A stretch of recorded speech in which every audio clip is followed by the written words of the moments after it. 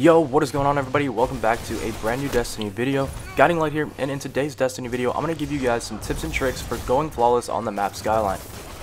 Now, we've never seen this map for Trials of Osiris before, so I thought this would be the perfect time to give you guys a few tips for going flawless on here.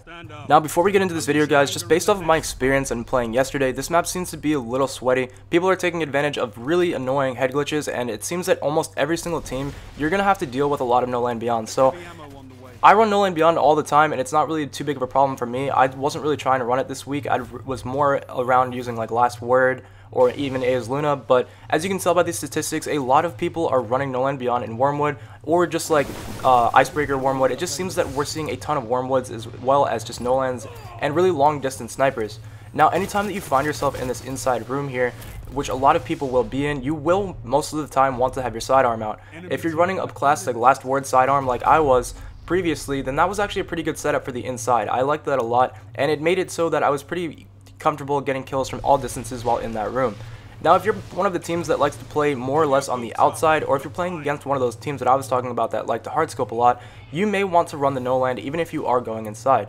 So my biggest tip for this map now is to figure out what you and your team want to do. Now the inside is really easy to control. You've got a lot of really narrow hallways which makes it really good for the No Land Beyond or for a person with a really good hand cannon shot.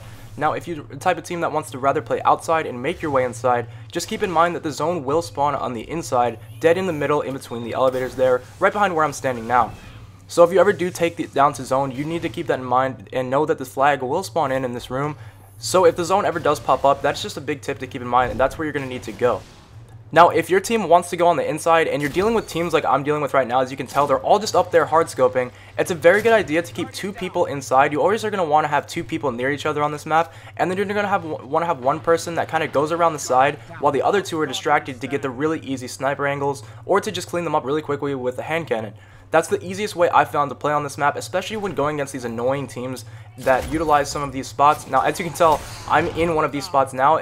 This is the head glitch I'm talking about that people really like to seem to take advantage of. Now, I was extremely frustrated with this team, and I was trying to carry one of my friends here for the first time ever flawless. So I was trying to take any measure to go flawless at this point. I just needed to win this match. So I was taking advantage of some of these head glitches. Now, as you can tell, the other team also wants to take care of these head glitches. This is just what it looks like from the other side.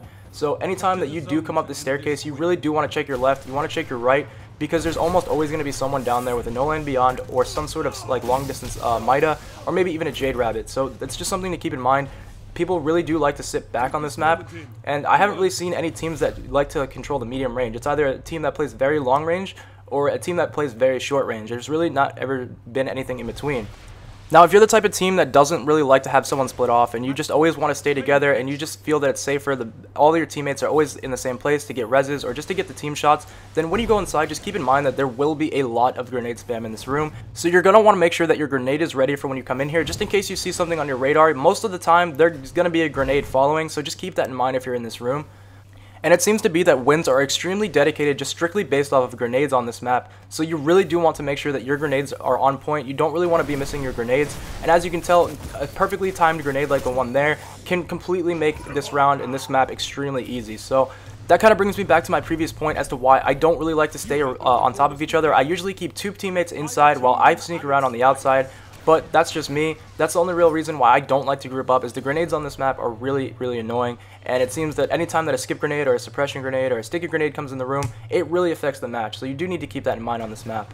Now, another tip that I have for you guys is that if you're ever behind, even if it's just one round and it's really early in the game, I would just suggest that you guys go immediately inside. You're going to want to just get control of this room. When it all comes down to it, right here when my bubble is popped is where the zone is going to spawn in. So no matter how hard you try to get those kills, if you're playing teams like certain teams that you're probably going to run into this week, they're going to play as passive as possible until the zone comes up. That's just what I've seen in my experience from yesterday. And there's also been a lot of scories now. That's pretty common nowadays in trials, so I didn't really think I needed to mention it. But for a map like this, Scories is extremely taken advantage of in certain aspects of the map as this is a bigger map than normal and due to the spawns and how the map lays is laid out a lot of people can find really easy spots to get their Scories with them and their teammates so you do need to keep that in mind as well when playing trials.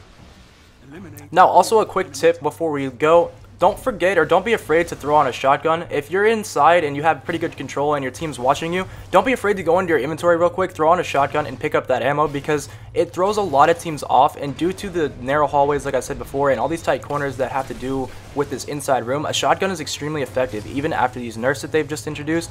A shotgun can still be pretty effective on this map and can be pretty game changing when they don't realize you have it because they'll come bum rushing in through a doorway, sliding in with their sidearms, and then you're sitting there waiting with a shotgun blast to the face. It's pretty effective and it seems to get the job done well. So I definitely do would suggest that as well. If you have the time and you think it's safe, throw on a shotgun and pick up that ammo just to surprise the other team. It really does throw them off when you have that inside control. Also, don't be afraid to just rush a team like I just did, as a lot of teams will be sitting there hard scoped with no land. And remember, they can only shoot one bullet at a time, unless they're extremely good at doing reload glitch or something. For the most part, they're only going to be able to shoot one bullet. So if you're really agile, or if you're on a class like Hunter and you can Shade Step or Twilight or do something to just throw their aim off for a second, you will have the advantage over them, and you can usually bum rush in there like I just did, taking advantage of them hard scoping. By the time they get their sidearms out, most of the time they're already dead, and they're not really able to do anything. So to wrap this one up guys, this map may be a little annoying as you can tell with the campers and it gets a little frustrating at times, but follow your strategy, stick with your team, and just try to get as many reses and team shots as possible and you guys should be alright. Also keep in mind with those grenades, you may want to run a, a, grenade build this weekend, it may help you out, it may not, it's really just based on how many times you want to throw a grenade in a game. But other than that guys, good luck with your runs this weekend, hopefully these tips do help you out, and I'll catch you guys in the streams. Peace. Team